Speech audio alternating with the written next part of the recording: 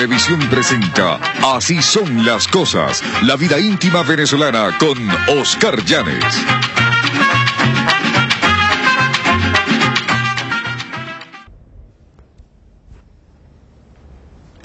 Hace 350 años, tres siglos y medio, el pueblo de Venezuela confió su suerte y su destino al Nazareno de San Pablo. El nazareno, aunque no nació aquí en Venezuela, es un venezolano típico porque ha sufrido lo mismo que el venezolano humilde.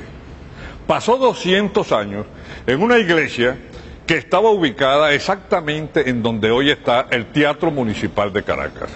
Era la iglesia del señor San Pablo el Ermitaño de Caracas. Allí estuvo, como les acabo de decir, 200 años el Nazareno, hasta que el gobierno del ilustre americano Guzmán Blanco decidió derrumbar la iglesia para levantar un teatro. El teatro que se llamó Guzmán Blanco, que es el mismo que hoy conocemos con el nombre de Teatro Municipal.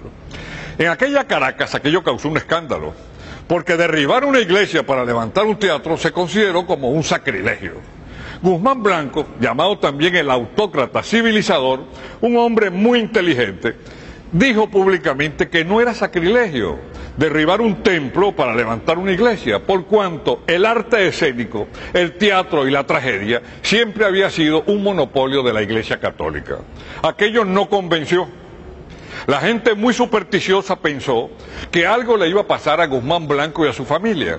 La más preocupada por este problema era su esposa, Ana Teresa. Entonces un día, cuenta la historia, él llegó a su casa y encuentra a su mujer llorando y la mujer le dice que algo muy malo le va a pasar por lo que ha ocurrido con la iglesia de San Pablo.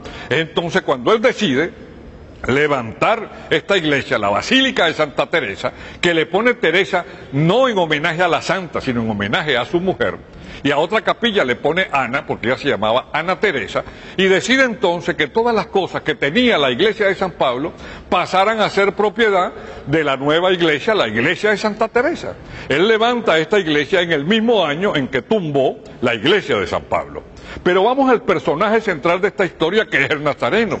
¿Cómo llegó el Nazareno a la iglesia de San Pablo?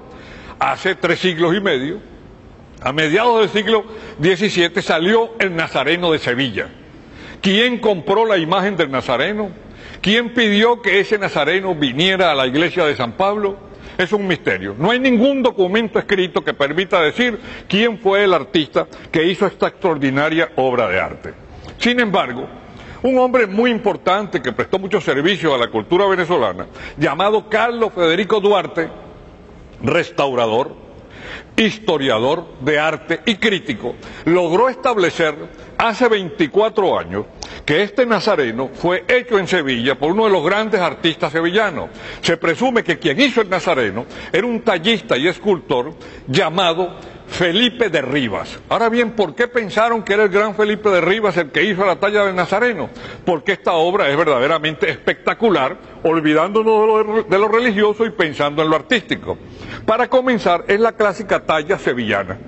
Es una talla sevillana en donde los ojos tienen una mirada de amor, ausentes al odio y ausente a todas las cosas que ocurren. Las manos son vitales, parece que en efecto fueran a tomar algo con dulzura. Y algo muy importante, que muy poca gente puede apreciar aquí en la iglesia, pero que en la televisión se ve muy claramente.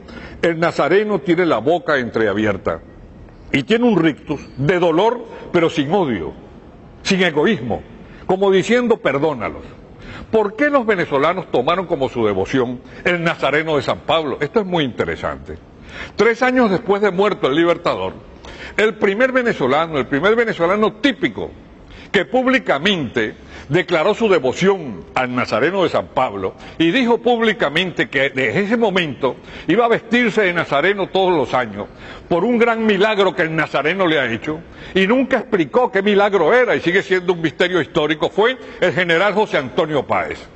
Páez amaba tanto al Nazareno de San Pablo que después de vestirse por primera vez de Nazareno, tres años después de muerto Bolívar, mandó hacer una copia, una réplica exacta de este Nazareno y se lo regaló a la iglesia de Achaguas.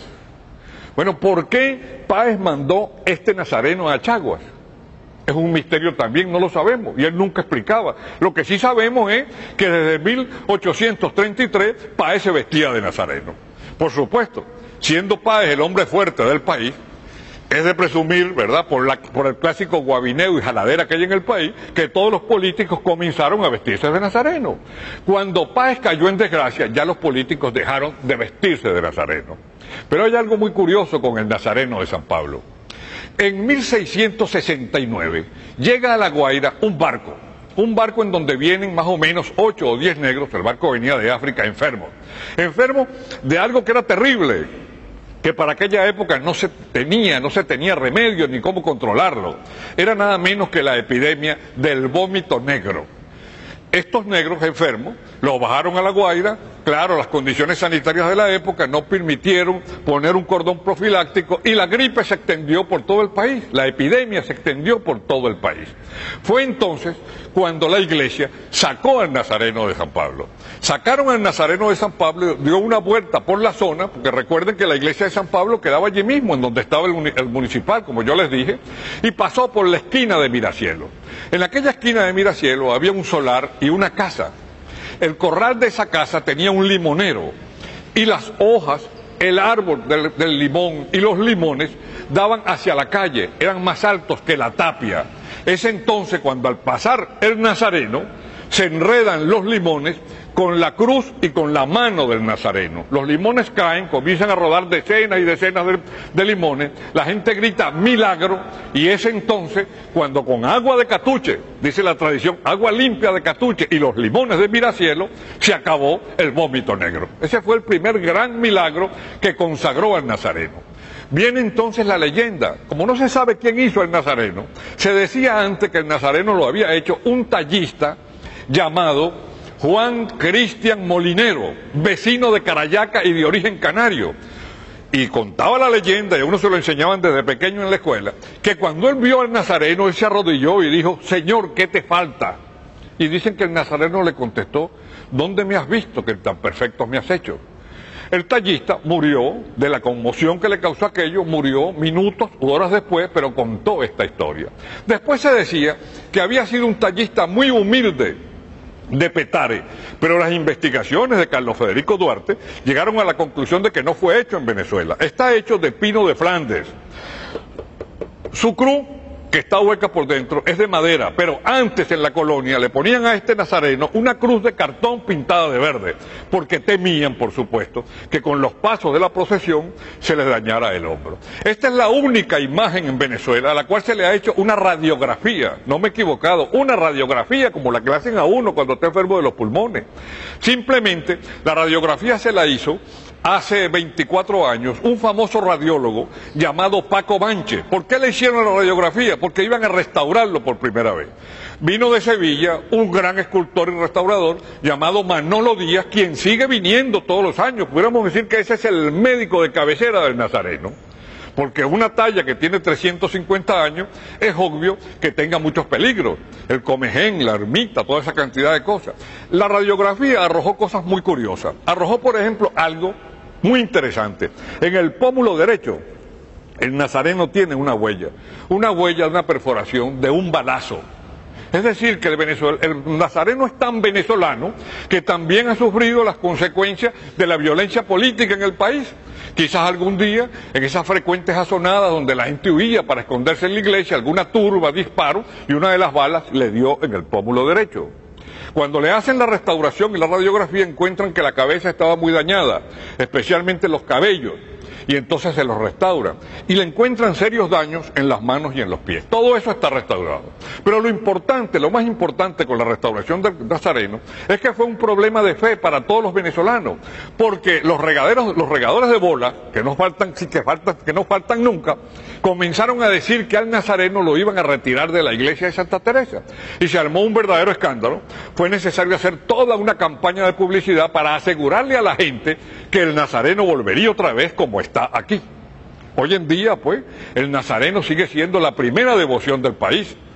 Es bueno que se sepa que entre la madrugada, la noche del martes y la madrugada del miércoles santo, de acuerdo con el récord de asistencia que llevan los bomberos, más de dos millones y medio de personas visitan esta imagen.